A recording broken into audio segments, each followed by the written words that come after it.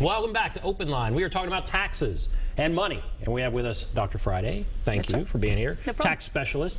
Lots of good calls. We're just going to keep going to the phones. All these people calling in. Let's go to Ricky. Hello, Ricky. Uh, yes, sir. I got right- a question for you. I have a retirement that I'd like to uh, take out and spend it on spend it as I would like to on the farm without paying the twenty percent. Can I do that? Um, probably not. Love to tell you yes, but unfortunately, um, I mean, what you spend it on, if it's a an actual operating farm, you might be able to depreciate and get some of that back. But basically, it, it's going to, you know, you're going to have to take it out, pay taxes, and then invest it, and then hope that that investment is accelerated enough where you might be able to wash it against the gain that you have. But other than that, there's no there's no easy answer to that, unfortunately. But you don't. There's no way of putting it in an escrow, a form escrow, or something like that, to where you could use it a little at a time without having to pay taxes on. No, sir, unless unless you convert it into something. But no matter what, if it's in a standard retirement account, there's tax dollars in it, and so unless you were like the earlier caller, where her income is just low enough where she can take it out tax free, um, you're going to end up paying taxes. Maybe not 20%, but you're going to pay some tax, and it depends on your actual ordinary income. And does it depend on his age as well? No. Well, yes, I guess that's where the young lady was saying 59 and a half. If you're 59 and a half, there's no penalty, but um, if you're under that age, then there could be additional 10% penalty as well. Right, okay. All right, let's go to Ellen. Hello, Ellen. Yes. Go right ahead. Um, I, I called in earlier, and my uh, disability is not through an employer. It's through what I've paid in over the years, which is a, a ton of money. Okay. Um, number So- one. Number two, I didn't quite get the answer. Uh, I didn't understand the answer about a foster child who claims that dependence. Okay.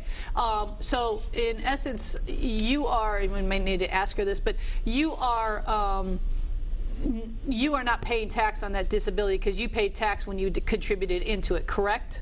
A ton. Okay. Yes. Yeah. No. I, yeah, I understand. That. I mean, it's very expensive. I I'm not. It's a. It's not what's called welfare SS. It's not. No, no, no, no, no. This is a private insurance that you paid in all your life, and now you're you're you're getting it back. But you paid in. That's why it's tax free to you. In answer about the, the child, you can claim it, but you're not filing taxes.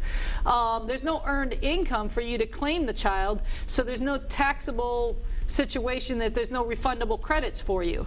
Um, so unless you can, you know, I, and I have no idea, but if there's any way of doing a part-time job or, or something like that where you may be able to do some sort of work, you know, then then there's an advantage to having a dependent. Otherwise, really, there's no advantage. I mean, Right. tax-wise, Is there's many advantages. off? Is it thirty-five thousand?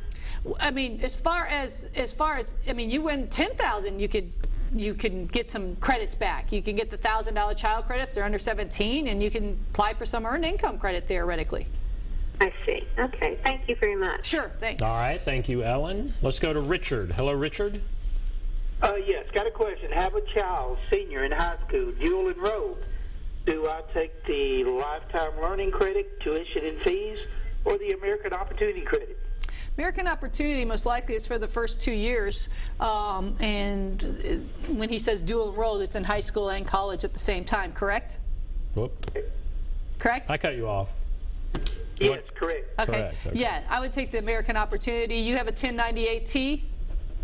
I do, but you know, you get a maximum of 2500 so you, if it's not very much, would you be wasting the American Opportunity Credit when you might get more in later years? Well, you only have the first. And I, you know, you can do tuition and, and education tuition if you want to. I mean, I don't know how much since it's a it's a split year in essence for that child because that they probably didn't spend a lot of money. They go into community college. Right. So, did you really spend any money? Uh, maybe six, seven hundred dollars. Oh, okay. Well, yeah, just do the tuition one then. That, I mean, it, you're not going to have enough, and it'll come right off for you up to that point. As long as they didn't get the, um, if they got any grants or anything coming back at them, it may wash it. Okay, no grants. Nothing. Uh, didn't, don't they? Don't most kids get the uh, lottery? Uh, You know what I'm talking about? Where every Right, child. the I can't remember the prop. Tennessee- There's a lottery. The lottery money helps pay for that. Everyone gets like a thousand dollars. Does she get that? did not. Okay. then you will probably get that six, seven hundred dollars off your tax return. Thank you. No problem. Thanks. All right, very good. So we have about two minutes left. What are what are some of the takeaways? What do you want people to take away? With all a lot of great calls. Oh, it's been awesome. I really enjoyed the show because it's it's always fun to hear and to know what people are wanting to know the answers to. Because obviously, otherwise, I could talk taxes all day and not hit one thing that anyone really wants to know about. Um, I guess the biggest thing is to file. And if you don't know if you need to file or if you owe money, because one of the reasons people usually don't file is because I owe money and I'm a little afraid to file. If I file, then the government's going to come after me, levy lien fees. Um, that kind of thing. It's not it's not the right approach. The right approach is to file.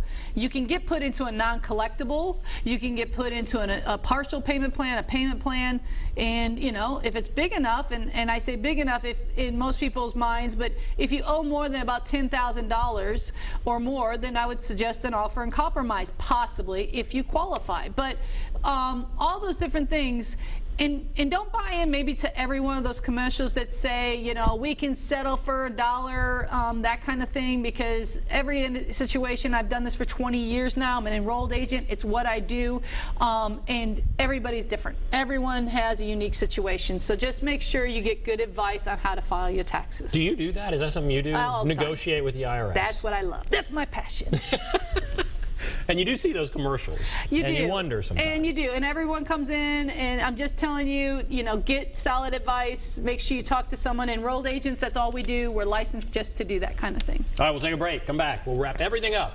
Be back right after this.